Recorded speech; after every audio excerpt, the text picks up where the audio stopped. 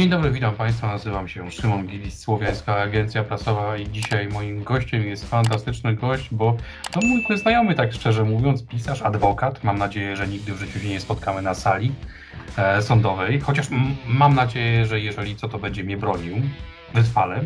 Franciszek Piątkowski, wszyscy prawdopodobnie go już znają z cyklu oczywiście fantastycznego powiernika. No i nie tylko, więc dzień dobry, witam Ciebie. Dzień dobry, witam Ciebie, bardzo mi miło. Yy, powiem po adwokacku, nawiązując do Twojej wypowiedzi, żebyśmy nigdy nie spotkali się na sali. Zapraszam, ale nie życzę. To miejmy nadzieję, że tylko i wyłącznie Słowików będziesz e, bronił, bo ostatnio są dosyć sławni.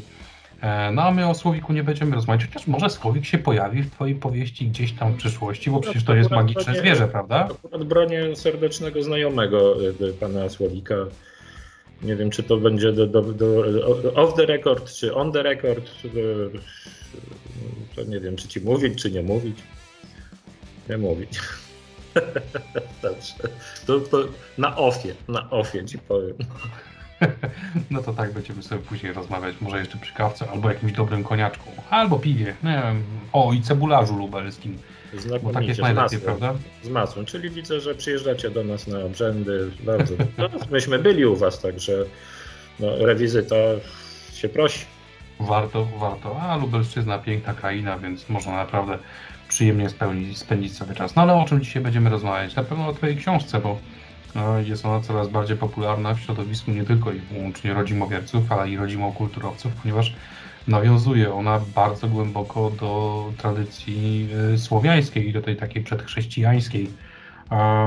No i co, moim pierwszym pytaniem miało być tutaj skąd w ogóle pomysł, ale wydaje mi się, że pierwszą rzeczą prawdopodobnie powinno być to, żebyś opowiedział nam o tym w ogóle uniwersum powiernika, bo to nie jest jedna książka, to jest wiele książek, więc mówimy już o całym uniwersum. Co to jest?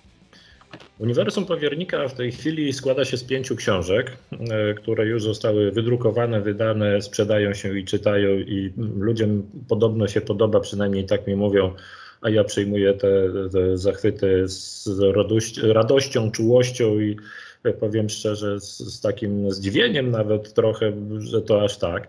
E, więc e, no to się bardzo tam mocno rozrosło. Oprócz tego są przeróżne jeszcze około książkowe związane z tym przedmioty, bo już poszedłem w koszulki, bluzy, boksy, przeróżne rzeczy, więc to uniwersum nam się mocno rozrosło. A o czym jest? E, to jest uniwersum, które jest naszym światem tak naprawdę, bo wszystko się dzieje w większości tu i teraz. E, to, są, to, jest, to jest nasza rzeczywistość, e, nasz świat, to jest Polska lat 2018-19 mniej więcej. Z tym, że ten nasz świat, jak się okazuje, większość ludzi tego nie widzi. Ci, którzy są dotknięci takim darem to widzą, jest pełen e, słowiańskich bogów i demonów.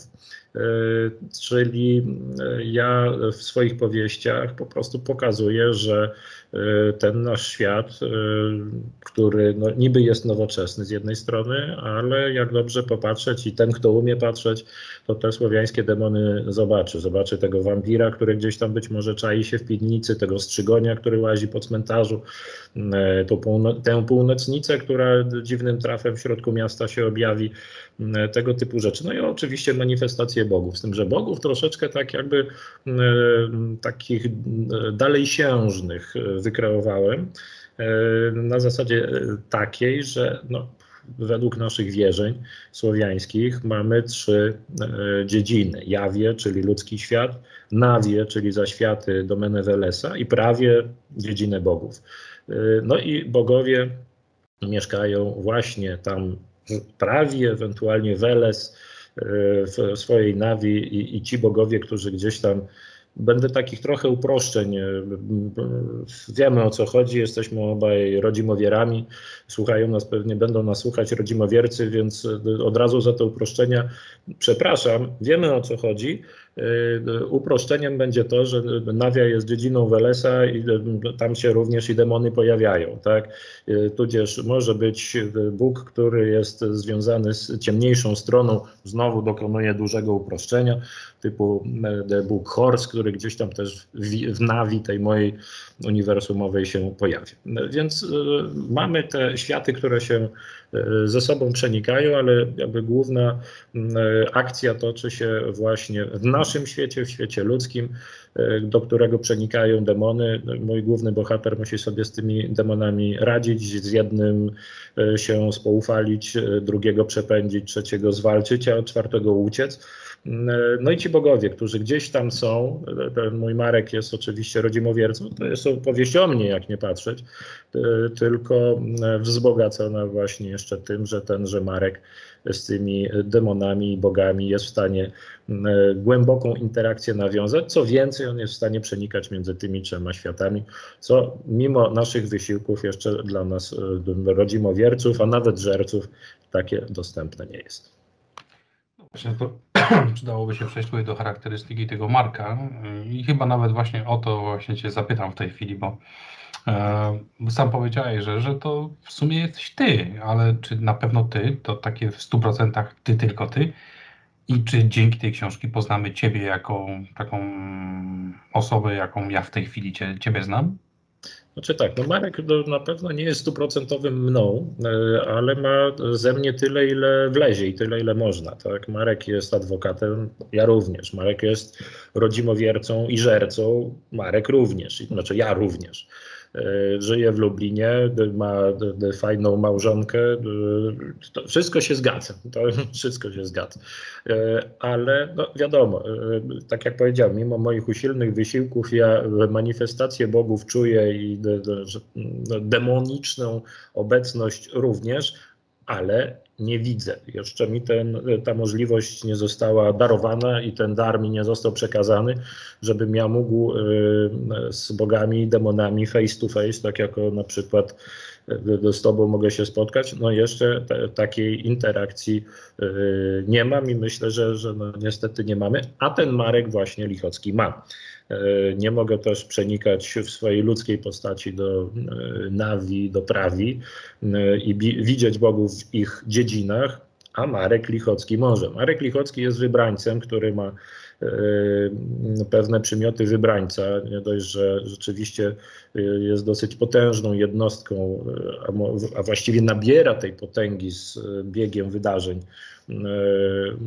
tutaj w naszym ludzkim świecie, E, no, jak przechodzi już do krainy bogów, no to już tak łatwo nie jest, bo kraina bogów i kraina demonów, no to wszyscy są e, tam, e, jakby sytuacja się wypłaszcza, tak? Już on przestaje być tym bossem zjawi, tylko jest już takim jednym z jednostek, które podróżują po czy po, czy po Prawi. No i tu już musi się porządnie oglądać za siebie. No ale rzeczywiście jest wybrańcem, jest wyposażony bardziej bardziej niż ja w pewne możliwości, instrumenty i umiejętności, więc tutaj już ja się kończę, a zaczyna się moja kreacja literacka. Ale jak mówię, staram się Markowi dawać tyle z siebie, ile, ile wlezie. Co by nie mówić, w uniwersum powiernika są też dwa zbiory opowiadań. I w tych opowiadaniach, no nie ukrywam, że y, jest sporo z moich doświadczeń, czy życiowych, czy, czy zawodowych, a nawet są opowiadania ze cztery, które no, są jakby y, przeniesieniem na ten świat bosko-demoniczny y, moich doświadczeń zawodowych, sprowadzonych przeze mnie spraw. Także, także tak, no, w Marku tyle Piątkowskiego, ile, ile się da. Przejdźmy do samego początku. Dowiedzmy się na temat początków tego wszystkiego, bo to mnie osobiście najbardziej interesuje. E, dlaczego? Mm, ponieważ e, no, coś musiało być po pierwsze bodźcem do napisania pierwszej książki, a drugie moje pytanie, takie podpytanie jest to, czy praca prawnika, adwokata pomaga ci, czy przeszkadza w pisaniu, bo prawnicy zazwyczaj to są ludzie, którzy bardzo zwracają uwagę na słowo, a taka literackość to jednak czasami jest zabawa tym słowem, niekoniecznie bardzo dokładnym. Co sądzisz na ten temat? Więc tak, odpowiadając na, te, na tę pierwszą część, skąd to się wzięło? Wzięło się to stąd, że tak naprawdę cała moja historia i przygoda ze słowiańszczyzną i z tym, co, kim się stałem podczas tych, tych wielu, wielu lat, zaczęła się gdzieś tak w roku 2005, kiedy to poszedłem do kina na film Stara Baśń. Obejrzałem tę starą baśń, bardzo mi się podobało ten klimat i to wszystko i zacząłem wyszukiwać w internecie Słowianie, dawni Słowianie, Poganie. Trafiłem, że gdzieś tam jacyś rodzimowiercy są, no to sobie wygooglowałem jakichś rodzimowierców i nagle mi się też rodzimowiercy objawili. No i wszedłem na y, historia dłuższa czy historia krótsza ma być. Historię dłuższą przyjmijmy. Historia dłuższa wygląda w ten sposób, że gdzieś tam meandrując i, i, i surfując po, po odmętach internetu trafiłem, pewnie jeszcze pamiętasz, na, taki, na takie forum, które się kiedyś na początku nazywało NBI, Neopogański Biuletyn Informacyjny, później się stał RBI, czyli Rodzimowierczy Biuletyn Informacyjny. Ja się tam strasznie mocno zacząłem udzielać. E, zobaczyłem, że są tam ludzie, którzy myślą jak ja, odczuwają ja, e, to, to, to samo ich interesuje. E, zacząłem się tam czuć jak swój i gdzieś ten świat słowiański, rodzimowierczy zaczął mnie wchłaniać powoli, nawet nie wiedziałem kiedy. W którymś momencie stałem się moderatorem na tym forum, aż w którymś momencie w ogóle stałem się właścicielem tego forum i, i, i głównym administratorem. No i tak ta historia się toczyła, a ja coraz bardziej w tym słowiańskim świecie byłem zaangażowany, ale mówimy tutaj internetowo. Z kolei oczywiście także chciałem być zaangażowany praktycznie, czy też mm, merytorycznie, czyli zacząłem się pojawiać na obrzędach. Pierwszy obrzęd kupały jakby przygwoździł mnie do tego tematu. Już zupełnie zacząłem się na tych obrzędach pojawiać najpierw jako uczestnik. Któregoś dnia e, obrzędując z grupą, którą e, obrzędowałem no już tak nazwijmy tradycyjnie i, i, i zazwyczaj e, zostałem poproszony, a może byś wyszedł do ognia i zrobił ryd dla Strzyboga, bo ja się już wtedy tak trochę strzybożo czułem. E, proszę bardzo, zrobiłem to. E, następnie, a może byś mi pomógł w prowadzeniu obrzędu i nagle okazało się, że współprowadzę obrzęd. I w któregoś dnia e, podczas, no nazwijmy to mini wiecu do środowiska naszego lubelskiego przy organizowaniu kolejnego obrzędu padło pytanie z mojej strony, no dobra, kto ma prowadzić obrzęd? Usłyszałem, no jak to kto? No ty. I od tego czasu moja posługa żerczyńska się zaczęła. Tak naprawdę było to parę ładnych lat temu. No więc to jest moja droga, nazwijmy to rodzimowiercza. I e, to jest mój świat od kilkunastu lat. E, więc no cóż mógłbym innego opisywać, jak nie swój świat od kilkunastu lat. A dlaczego zacząłem go opisywać? Bo jeszcze w tamtych czasach, kiedy ja zaczynałem chłonąć jak gąbka tę kulturę słowiańską, E, i przedchrześcijańską. To były lata takie, kiedy tej słowiańska, słowiańska fantastyka to było oksymoron. Tak? No, no, nie było czegoś takiego. Co więcej, jeszcze słowiańska fantastyka, której nie było, dostała jeszcze w dziób od mistrza Sapkowskiego, bo e, napisał Piroga, więc stwierdził w Pirogu, że oczywiście słowiańskiej, coś takiego jak słowiańska fantastyka to nie ma, więc E, na drzewo ze słowiańską fantastyką. No i tak ta słowiańska fantastyka wyglądała, że tak mniej więcej raz do roku pojawiła się jakaś tam książka, która e, gdzieś tam traktowała o dawnych dziejach przed mieszkiem, w czasie mieszka albo chwilę po mieszku. No coś tam było, no, no, było, no ja dorwałem w ręce Bogusława Wiślanina, zrobiło to na mnie straszne, piękne wrażenie i pomyślałem sobie, chciałbym coś takiego opowiedzieć, bo już rodziła się we mnie historia. Ale z drugiej strony e, stwierdziłem, no kurczę, e, no jest przed mieszkiem, w czasie mieszka i po mieszku, no ileż można czytać to samo e, o tamtych czasach, a no, mój świat słowiański, mój świat rodzimowierczy jest tu i teraz. Ja jeżdżę na obrzędy, ja chcę, żeby ci bogowie byli tutaj ze mną, tak? I te demony chciałbym, żeby, ja bym chciał je zobaczyć. No więc stwierdziłem, to ja sobie opowiem taką historię. I zacząłem, gdzieś tam zacząłem mi się w głowie to roić i zacząłem to spisywać. No i tak pisałem, sobie pisałem, pisałem kilkadziesiąt stron, odkładałem na rok, później znowu kilka stron, odkładałem na pół roku i tak mniej więcej po pięciu latach nagle się okazało, hmm, napisałem książkę, kurczę. No i ta książka sobie tak w komputerze leżała. Leżała, leżała przez kolejne chyba 4 lata.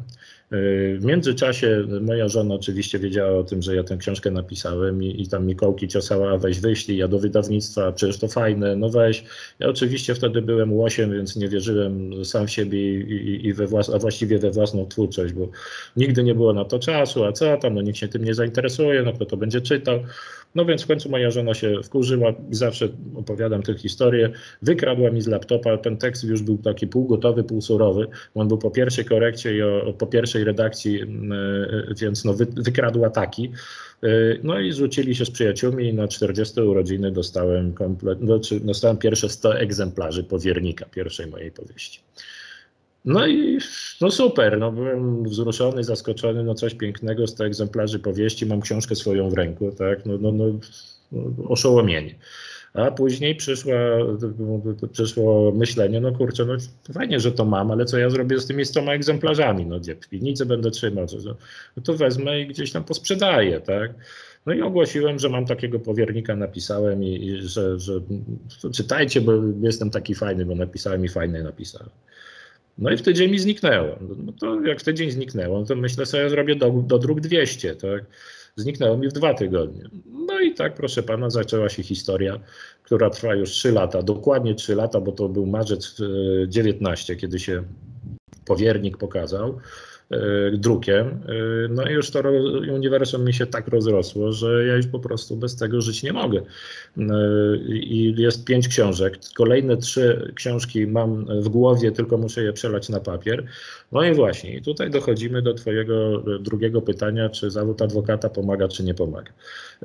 Zawód adwokata nie pomaga zupełnie, jeżeli chodzi o wymiar czasowy. Tak, niestety. Mój zawód jest tak no, czasochłonny, że nie pomaga mi w tym względzie w pisaniu zupełnie, bo mi zjada czas.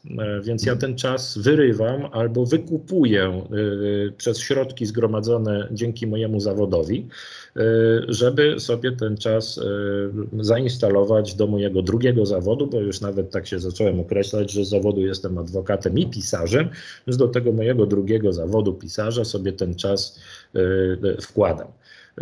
I wtedy, jak już rzeczywiście zaczynam pisać, to zaczyna się ta, ta, ta, jasna strona, czyli rzeczywiście mój zawód pierwszy mi pomaga, bo to jest operowanie słowem, bo to jest pisanie wielu, naprawdę już chyba tysięcy pism, które przeleciały przez moje ręce, więc musiałem je jakoś zredagować, napisać właściwie napisać, zredagować. I i cóż, no i przede wszystkim też jakieś tam cechy, predyspozycje osobiste, tak? no jakieś wystąpienia publiczne, jakieś opowieści. Ja już gadam chyba 5 minut i dziób mi się nie zamyka, więc to, to, też trochę ten mój zawód mi w tym pomógł, bo ja żyję też i z gadania, no jak to papuga. A poza tym, no tak jak już Ci wcześniej powiedziałem, te historie z życia wzięte, które gdzieś tam miałem w swojej karierze zawodowej, no dają miasą do pewnych wątków, epizodów, czy nawet opowiadań w, moich, w moim uniwersum i rzeczywiście pod tym kątem merytoryczno jakby umiejętnościowym ten zawód tak, bardzo, bardzo mi pomógł. Przeszkadza mi makabrycznie, jeżeli chodzi o czas. Ja osobiście mam nadzieję, e, że w przyszłości już nie będziesz musiał być adwokatem, a pełnowymiarowym pisarzem i tego Ci życzę.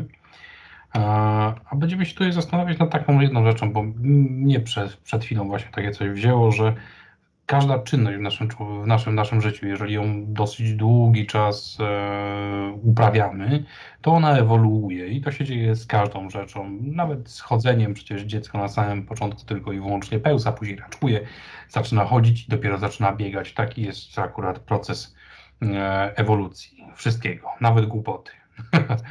E, a jak wygląda u Ciebie ewolucja, jeżeli chodzi o to samo pisarstwo z perspektywy już kilku książek napisanych, tak spoglądając na Twoją pierwszą część, e, to powiedz mi, jak Ci się podoba pierwsza część, a jak możesz ją porównać do ostatniej? E, bardzo fajne pytanie, bo na czasie. Dlatego, że rzeczywiście ludzie mi mówią, że faktycznie, że się rozwijam, że jest, no, niektórzy mówią nawet przepaść między pierwszą a ostatnią książką. Na szczęście wszyscy mi mówią, że z książki na książkę jest lepiej.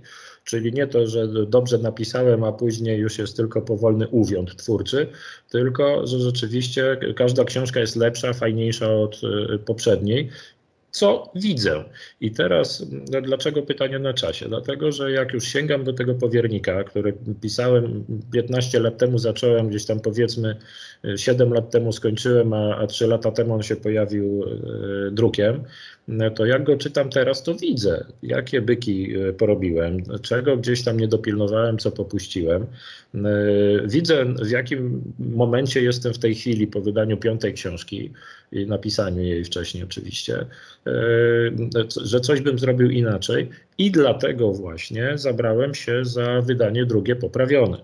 I najpierw autorsko je, e, tego powiernika przeczyściłem, tam troszeczkę poprawiłem takich dziwnych e, rzeczy, które mi nie pasowały. Fabuła oczywiście zostaje ta sama, wszystko jest ok, tylko musiałem ją po, Y, autorsku zredagować.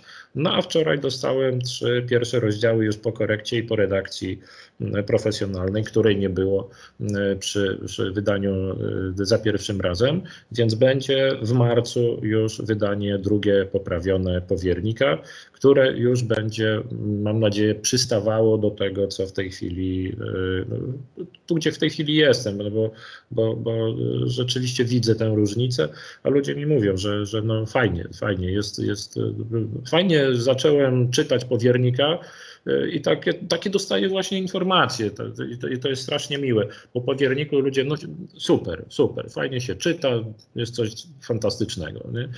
E, no dobra, zabieram się za drugą część. A po drugiej części dostaję, no kurczę, blady, no powiernik mi się podoba, ale to, co tutaj odpakowałeś, no to jest w ogóle mistrz... I później kolejna, kolejna, kolejna, aż w końcu gdzieś tam na piątej książce, no do, mam takie nawet recenzje, że od, od y, dobrze zapowiadającego się twór, twórcy fantazy do, człowieka, który się bawi konwencją i w ogóle no, już jestem ta, o, książę nie. Y, nie chciałbym, żeby to zabrzmiało, że, że, że bufonadę tu uprawiam, ale y, staram się rozwijać i nadal chcę się rozwijać i będę się rozwijał, bo te trzy, książki same się nie napiszą, a chciałbym żeby moi czytelnicy i ci, którzy y, już mnie czytają, i ci nowi, rzeczywiście mieli ogromną przyjemność z tego, że będą to czytać. Ja też mam taką nadzieję, że będą czytać i później kupować. Ja osobiście proponuję jeszcze zrobić taki, nie wiem, jak już pięć masz e, zrobionych książek, to w jednym opakowaniu, bo często się widzi właśnie takie zabiegi wydawców, że a czemu nie można by było z tego spakować jako piątkę w jednym wspaniały prezent, tak szczerze mówiąc, dla, dla wielbiciela słowiańskiej fantastyki, e, żeby nie chodzić po kolejne książki, tylko mieć pięć na raz na półce. No ja bym chciał mieć na przykład taki prezent, ale z Duną na przykład. Jestem wielkim fanem Duny, tylko że 16 książek jest troszeczkę ciężko gdzieś zmieścić na tych półkach, które już są pełne. No to, to ja, ja Ciebie rozumiem, Dune to jest coś, ale powiem szczerze, w tej chwili y, y, moi czytelnicy po prostu biorą ten pakiet pięcioksiążkowy. Co więcej, ja nawet mam boksa takiego specjalnego, drewnianą skrzyneczkę, y, elegancką, ręcznie robioną, bardzo fajną. Moi patroni medialni mi to, wymyślili i, i produkują, do, których mieści, do której mieści się wszystkie pięć książek i już są trzy wzory, zaraz będzie czwarty. Także śliczności takie mogę bez skrępowania chwalić, bo nie ja to e, zmajstrowałem. Wprawdzie moje uniwersum można tam wsadzić, no ale to jest robota czyjaś inna, więc mogę chwalić absolutnie. E, że, że no piękna jest, piękna jest. Może. No to ja proponuję jeszcze modyfikację do tego pudełeczka. Oprócz tych pięciu egzemplarzy książek, to jeszcze samogonu lubelskiego i cebularz. I dlatego y, nie można się ograniczyć do kupienia jednego boksa, tylko y, od razu wszystkich czterech, bo do jednych książka, poza tym kolejne będą książki, więc znowu trzeba będzie do drugiego wsadzić kolejne książki. Jest jeszcze powiedzmy lubelski jakiś samogonik, plus no cebularz z masłem oczywiście. No, słusznie, słusznie prawisz. jakby inaczej, jakby inaczej. Dobrze, przejdźmy troszeczkę do przyszłości e, całego cyklu, bo nie wiem, Frank Herbert zrobił tą swoją Dune i tak szczerze mówiąc, gdyby on żył dalej, to mi się wydaje, że to by się nie skończyło. Nigdy. E, dobrze, że przejął schedę jego największy fan i syn i, i mi się wydaje, że na podstawie notatek, które on pozostawił, prawdopodobnie jeszcze wiele książek może powstać. No ale jak wygląda właśnie z powiernikiem? Czy przyjdzie czas na to, że uśmiercisz Marka, czy może rozpoczniesz nowy cykl? E, czy będziesz kontynuował w dalszym ciągu e, przygody Marka w świecie fantazji słowiańskiej? Jak to będzie wyglądało? Plan, który mam w tej chwili w głowie, e, jest taki. Ja mam jeszcze trzy książki do napisania na tę chwilę, czyli czwartą część serii. I to jest ostatnia część serii. Y, oprócz tego jeszcze jeden zbiór opowiadań, no bo jest powiernik bogowie i stwory, widzący bogowie i stwory, no aż się prosi, żeby byli obrońcy bogowie i stwory. No i trzecią tą książką, która, y, która, która będzie książką też zapoczątkowującą nową serię, jest 40 y, już mam stron napisanych, słowiańskie science fiction. I tutaj zaczynają się schody, gdyż słowiańskie science fiction po pierwsze będzie w uniwersum powiernika się rozgrywało. Ja y, uniwersum powiernika nie jestem w stanie już chyba y, opuścić, bo, bo tak mnie wsiorbało, że, że po prostu trzyma i nie chcę puścić. Co więcej, y, no mówię, że zakończę czwartą częścią i może jeszcze zbiorem opowiadań, z tym, że tak, jak napisałem powiernika, to miała być pierwsza książka, chyba ostatnia. Po czym gdzieś pod koniec pisania to sobie pomyślałem, że może jeszcze drugą napiszę do tego drugą część i zamknę. Y, jak zacząłem pisać drugą część, to już wiedziałem, że to się skończy na trylogii. A w momencie, kiedy, za, kiedy byłem w połowie trylogii, stwierdziłem, no nie, no będzie jeszcze czwarta część. Także tu, tutaj mogą być plany przeróżne i, i, ja na razie mówię, że czwarta będzie ostatnia, a się może okazać, że to jest dopiero początek tego wszystkiego. No ale zobaczę jeszcze e, tą kwestię słowiańskiego science fiction. To się będzie rzeczywiście w uniwersum powiernika odbywało tylko tak mniej więcej 150 lat po wydarzeniach z powiernika. E, czyli, e, no cóż, nie będę tutaj spoilerował i, i wskazywał, jakie tam są szczegóły dotyczące fabuły, ale jeżeli ktoś czytał ostatnie opowiadanie w ostatnio wydanym zbiorze opowiadań Bajdała, to troszeczkę może nabrać pojęcia, e, co tam się wydarzy. E, o, i kropka. Zapraszam, jak już napiszę i wydam, to zapraszam do zapoznania się, przeczytania. Czekamy, czekamy niesamowicie na to. Mm, I ostatnie moje pytanie tyczące się cyklu. E, ja jestem człowiekiem bardzo wygodnym i często na przykład jak jeżdżę sobie do pracy, lubię sobie posłuchać e, ciekawych książek. A może z wymóg XXI wieku, ale takie pytanie, czy będą audiobooki? Oczywiście, że będą audiobooki. Co więcej, jeden audiobook już jest, e, czyli jest audiobook Powiernik Bogowie i Stwory, czyli zbioru opowiadań, pierwszego zbioru opowiadań. No i powiem szczerze, to co się teraz wyrabia na e, Storytelu i Empiku, to przychodzi w ogóle moje pojęcie, bo, bo po prostu no, ludzie podobno tak słuchają. No ja widzę, że słuchają, bo widzę, jak tam się to wszystko dzieje. Także jestem przeszczęśliwy, bo rzeczywiście ten audiobook sobie hula. No i dzięki temu, że hula, robimy kolejny audiobook. Mówię robimy, bo robię tutaj, nie wiem, czy mogę zdradzić nazwę wydawnictwa, ale myślę, że nie popełnię jakiegoś błędu. Zresztą jest to wydawnictwo absolutnie nam, e, naszemu środowisku przychylne. Fantastyczni ludzie, fantastyczny człowiek, Łukasz Narolski, który to y, prowadzi, ciągnie.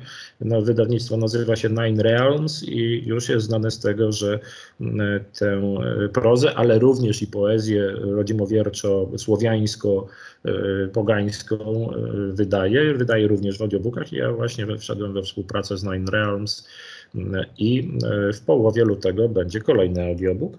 E, czyli kolejne opowiadania, druga część opowiadań, czyli Widzący Bogowie i Stwory.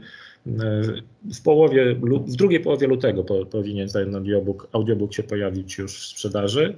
E, no i mniej więcej tak co 2,5-3 miesiące, miesiące w tym roku wydamy wszystkie audiobooki wszystkich książek, które się ukazały do tej pory i być może jeżeli uda mi się rzeczywiście wyszarpać ten czas, żeby napisać szóstą książkę, to i szósty audiobook też się w tym roku pojawi ten rok będzie rokiem audiobooków w uniwersum powiernika na pewno. Będziemy czekać tylko i wyłącznie na informacje. Ja zapraszam serdecznie wszystkich ludzi, żeby odnaleźli stronę na Facebooku, stronę powiernika, polajkowali w tym momencie będziecie mieli najświeższe informacje na temat, e, co jest wydawane, jakie będą audiobooki i tak dalej. A może w niedalekiej przyszłości, za kilka lat, Franku, tobie też to życzę bardzo, znajdzie się jakiś reżyser, który powie sobie, a nagramy o tym film. Albo serial jakiś ciekawy o Marku Lichockim, który gdzieś tam po ulicach Lubina chodzi, prawda? Fajnie by było, mówiąc szczerze.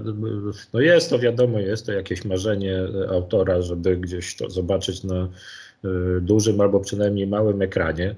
Y, no cóż, no, no, to by było jakieś tam spełnione marzenie. Czy tak się stanie, nie wiem, nie nastawiam się, nie napalam się, no super by było, tak, ale, ale czy tak będzie, no to, to już bogowie pokażą i dadzą. No. Bierzmy wysoko, ja tam myślę o tym, że to będzie duży srebrny ekran z Hollywood, a nie Bollywood, e, więc miejmy nadzieję, że mniej tańca, a więcej efektów niesamowitych. Tak, no i więcej właśnie... Lichockiego w Lichockim niż Geralta w Geralcie będzie, tak, if you know what I mean. Dokładnie, dokładnie, dokładnie. E, I tym właśnie zakończymy. Ja Państwa serdecznie zapraszam do polubienia naszej strony Słowiańskiej Agencji Prasowej, jak i właśnie strony Franka E, powiernik. Znajdziecie ją na pewno na Facebooku. Polajkowanie tego e, podcastu i subskrypcję załączcie sobie na YouTubie, żeby mieć informacje o tym, co w najbliższym czasie będzie wydawane. Ja Tobie bardzo dziękuję, Franku. Ja się nazywam Szymon Gilis, Słowiańska Agencja Prasowa, a moim gościem był Franciszek Marek Piątkowski, ksywa Lędzian. E, I bardzo mi było miło, bardzo dziękuję. Strasznie fajna rozmowa, dziękuję za pytania, dziękuję za spotkanie. No i widzimy się.